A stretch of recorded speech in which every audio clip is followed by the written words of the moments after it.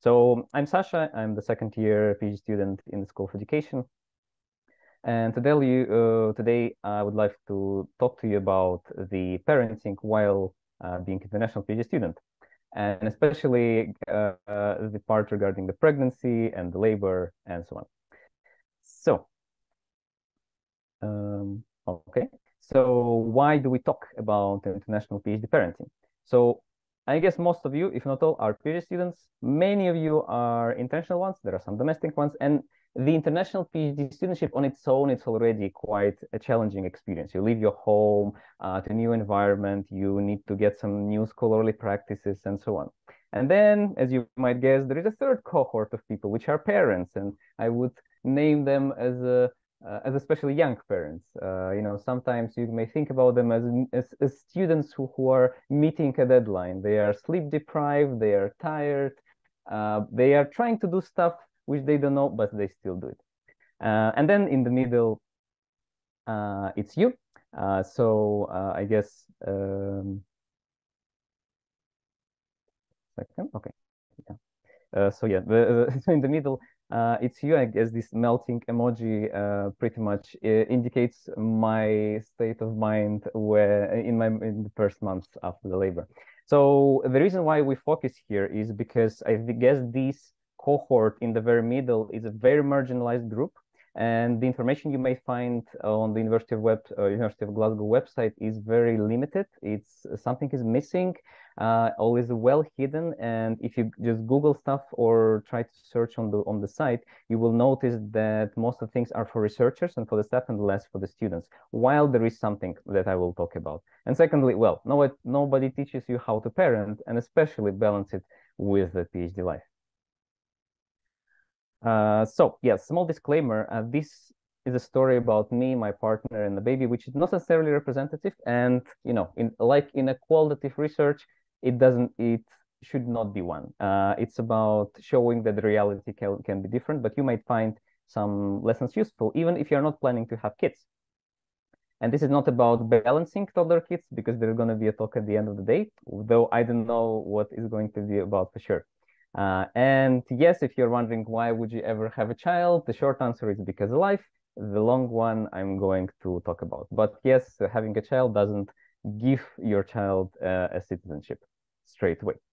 Um, so I would love to you to meet uh, my spouse, my partner, my wife, my love, uh, Farida. She studied uh, in Leeds uh, roughly eight years ago. And we came to Glasgow last last September we were fleeing from the mobilization in Russia, so we had to leave very in a rush. Uh, and even though I've been studying in University of Glasgow uh, before uh, in during my masters, she arrived here and she knew no one. So for her, it was a very challenging experience uh, on its own.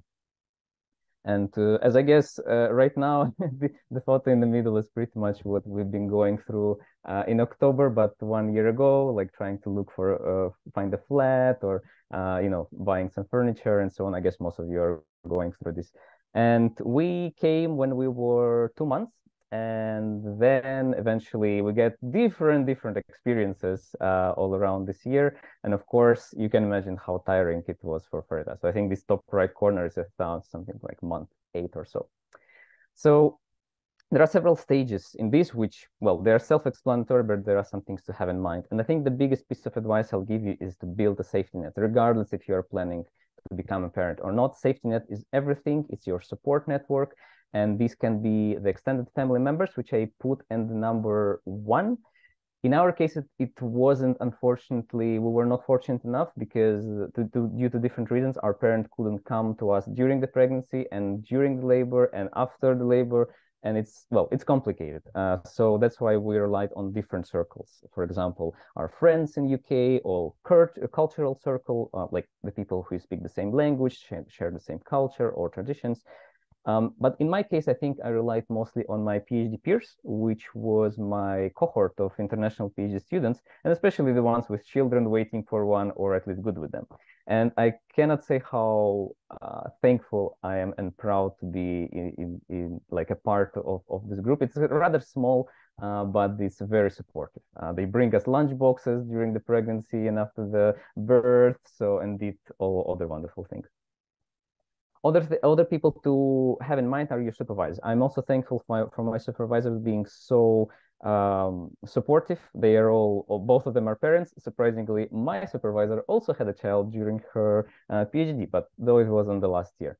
But you can imagine how hard uh, it can be indeed. Um, then there are a, a, couple of other services like different chats and groups you may find in WhatsApp, in Telegram, or other messengers or Facebook. Uh, there is also a Peanut app, which is like a Tinder for women to connect, uh, like in different the stages of life, like pregnancy, motherhood, career transitions, and so on. And there are some University of Glasgow services I'll click, I'll, I'll briefly uh, talk about. So University of Glasgow, we have well-being services. Um, the research development team can correct me if they still have a parenting in academia session. I attended this one last year. It was it was nice. I cannot say it was overwhelmingly great, but it was good. Uh, but something that really worked for me was the student one-to-one counseling services because they really took a lot of psychological pressure, which I had uh, on myself in this situation. Uh, there is also the international student team that most of you might know, and they actually have an event this Friday uh, at 10. Um, and they're going, they're inviting the families. So write, uh, e email them on, on this address. I'm going to share it later on to become a part of this network. They organize in events rarely, but they are quite neat. So I really encourage you to attend them. Some schools, for example, School of Education also have support officers um, your graduate school can also give you some guidance on the policies which um, they have regarding the uh, like maternity or paternity leave. Um, and there are also a couple of other things uh, which I'm not uh, going to go through, like the study lounge or students Facebook group, which are not not really active. So the next stage is getting educated. Uh, what we did is we asked midwives, or in case you can afford a doula, who attended antenatal classes by NHS, which were both live and online. Um, we got some breastfeeding support. This is easily Googleable. We also attended this positive birth uh, e-course, um, which I'm going to give a link to. It's not necessarily this one, but this is like a application of positive psychology, but to the uh, to the labor and the whole pregnancy uh, process because it really shifts your attitude to the whole idea of birth. So if you might, if you are scared before, you might be way less scared afterwards. Uh, Farida also went to pregnancy yoga to stretch the muscles and also get to know other moms. And uh, as cheesy as it sounds, but this uh, wonderful NHS book, Ready Steady Baby, was actually a treasure of uh, useful and practical advice. So some things to plan in advance. I think the most important here is your leave. So I'm gonna speak for myself as in UK, you can get two paid weeks of paternity leave. And this works in case you are on the UKRI level stipend. For maternity, it works differently, and I have a slide for that, but uh, you will get this information anyways. Remember that you as a student have eight weeks uh, of uh, annual leave, at least you should, uh, but correct me if I'm wrong. And as an international student, you have visa uh, restrictions that if you're leaving UK for more than 60 days, you have to suspend your studies. So this is something to uh, remember about. Remember to sort, sort out your annual progress review. Luckily enough, I was, uh, I think, in the first week of delivering uh, the AP, uh, APR, uh, and it happened, I think, maybe two weeks before the birth came in. Uh, plan carefully your finances and start saving. You will need a lot of, of funds to um, support your family, and especially when you'll be paying for nurseries, and go and check them already now while you're pregnant. Um, and remember that babies grow super fast, so that's why you will need uh, different uh, sources of clothes and stuff. So one thing I'll just mention is the Scottish Baby Box, which is an initiative from the Scottish government to support any child, regardless of immigration status. They give a box with different baby stuff and so on. It's it's nice. It's not insanely helpful, but it's nice and it's useful to some extent. Um, this is just a chart which you will see later on. It tells, um, uh, let's say, the timelines and things you're entitled to as as a mother. And well, the first weeks when the child is born, just appreciate this moment. You will have so much time for your research, but things like having a child, this comes and goes. And, and it may be a once in a lifetime uh, opportunity. So yeah, this is a picture from, I think on the second day uh, after the baby was born. So really be supportive to your partner, to your baby. Just be in these moments. Take a leave. But I took eight weeks of leave, including the parental leave, uh, and it worked well, quite well, I'd say. Uh, there is a nice rule that I was taught by one of the friends: is that whenever baby sleeps, mother should sleep. Sleep is a very big thing. Like I was uh, waking up at 4:30 a.m. like Anmar, but for slightly different reasons. But still, sleep is ultimately important here. Uh, and yeah, cherish these moments. They go very fast and you just need to appreciate them. Uh, in the later stages, um, use and expand the safety net. Um, like, for example, what we did, we invited friends and family members home. Well, we invited them and eventually they didn't come, but a lot of friends uh, with some um, regularity, they came to our house, they brought some food, they did some chores. So it was very helpful. So really use your safety net. Uh, you can also attend some events uh, from the organized by the libraries or some community centers like Bookbug or uh, picnics or baby sensory and so on. And then most importantly, talk with your partner because uh, while uh, you are three already, well, in our case, we were three, you might be more, um, sometimes you forget that you were two at some point and there are, there are me times and there are us times which needs to be acknowledged and dedicated to. Um, and yeah, this is going to be a huge change of your life. Everything is going to be changed, literally speaking. So be flexible, be open, and embrace the change. I don't have any other piece of advice in this regard.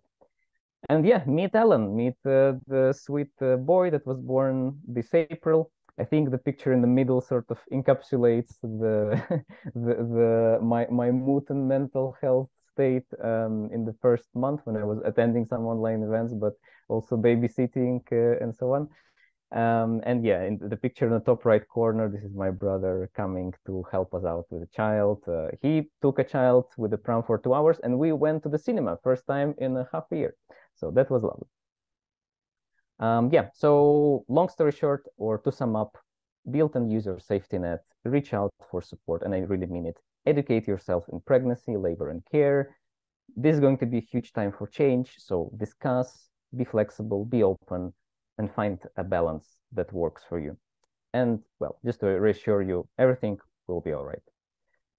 Um, yeah, good luck with uh, with this encounter. It's very hard, but well, it's possible. Even without the with the support of family members, I still believe it's it's a very rewarding experience, and it's definitely not an excuse that you're having uh, uh, a, a, a PhD studentship, not have a child. But you can argue with me, of course.